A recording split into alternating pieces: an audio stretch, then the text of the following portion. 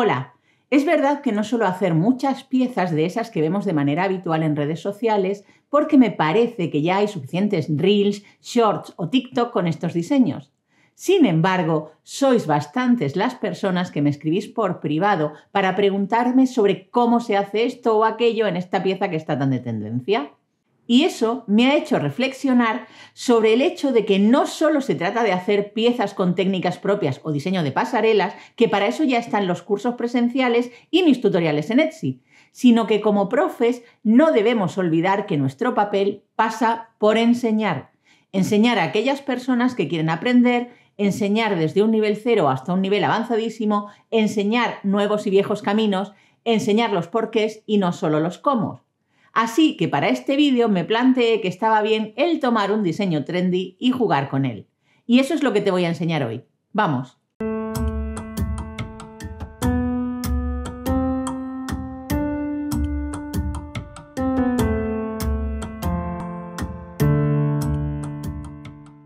Como en cada proyecto, comienzo por elegir la paleta de colores y acondicionarlos muy bien. En este caso, usaré blanco, gris y negro y ocre, burdeos y azul marino, todos ellos de la gama Number One de Cernit.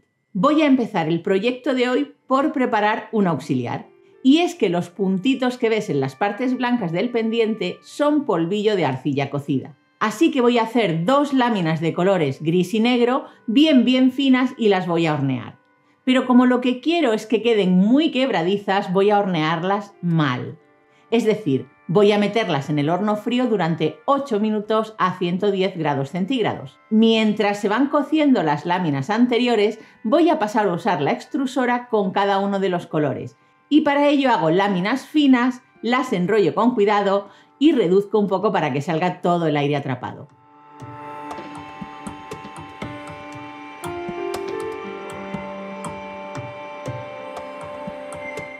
Luego extruyo con cuidado.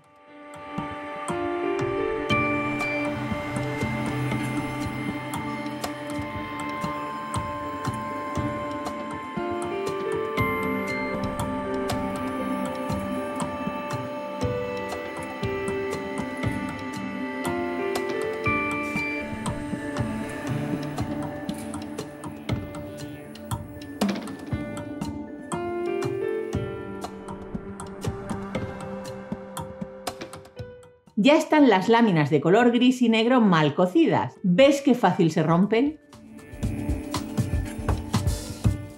Voy a usar un molinillo de café para convertir la arcilla en un polvillo muy fino, aunque también puedas hacer esto con un mortero.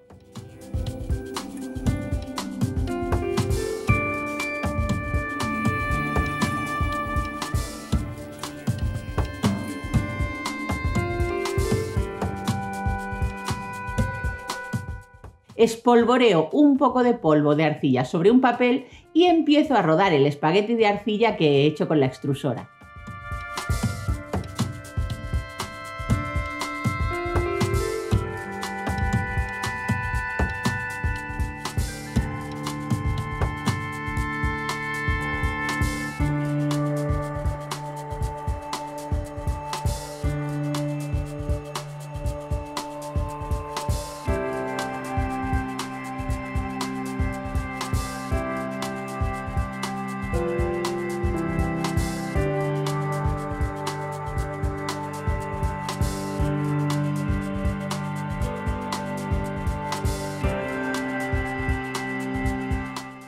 Ahora voy a dar la forma y para eso cortaré un pequeño círculo de arcilla de color negro que me servirá de guía y será un elemento del diseño final. Voy dando vueltas alrededor del círculo negro y afinando la forma con ayuda de la cuchilla.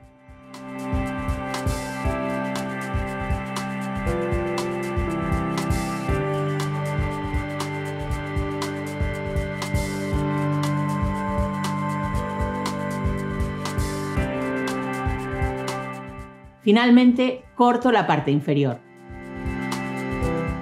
Repito este paso para cada una de las extrusiones.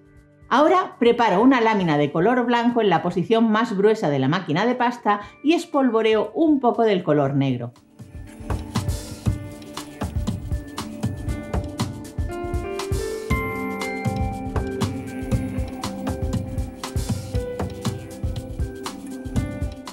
Bruño bien y corto 6 círculos de 8 milímetros de diámetro.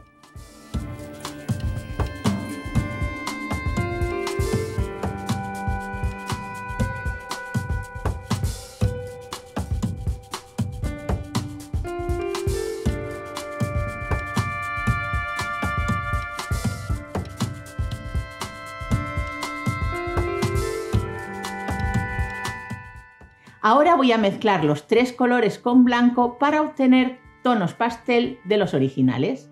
Haz pruebas con distintas proporciones hasta obtener los tonos que más te gusten.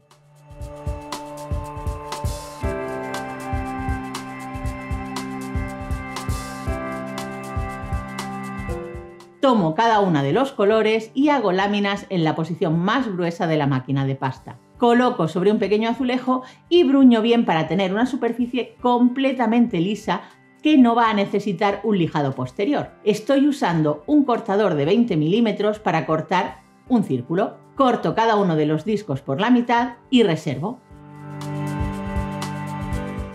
Ya solo me queda hacer la última lámina de arcilla de color blanco y espolvorear polvillo de color gris para luego cortar círculos de 16 milímetros de diámetro.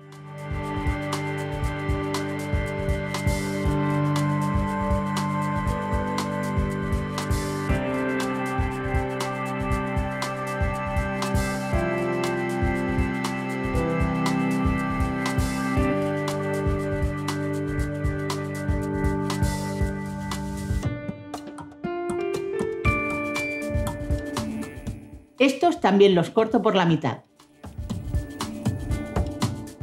Llevo todo al horno durante 30 minutos a 125 grados centígrados. Cuando todo está bien frío, voy con el montaje.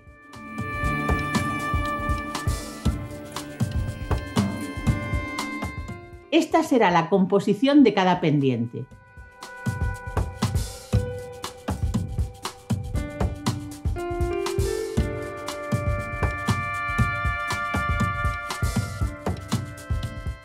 Es verdad que lo normal en este tipo de piezas es hacer el montaje con anillas redondas que unen las partes dos a dos, pero yo he preferido hacer un montaje con un alfiler largo. Es verdad que los agujeros de esta manera que te voy a mostrar requieren bastante práctica, pero también me gusta mucho cómo quedan. Puedes elegir qué montaje hacer.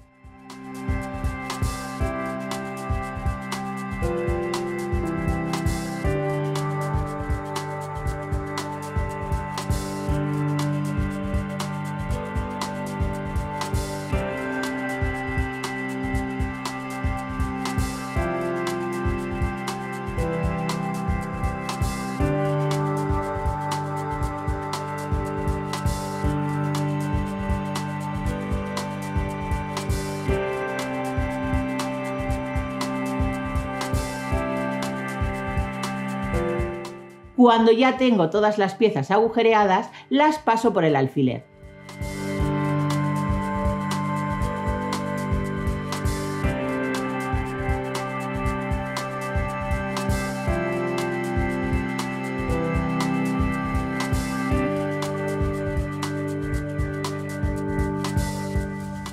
Hago una anilla al final, pongo un gancho y a disfrutar.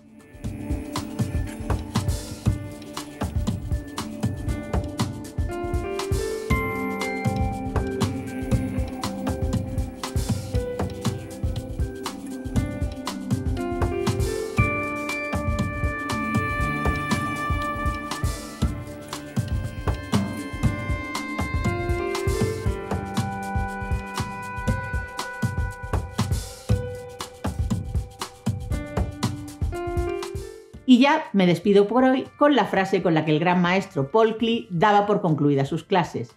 Hoy os he mostrado un camino, personalmente he seguido otro.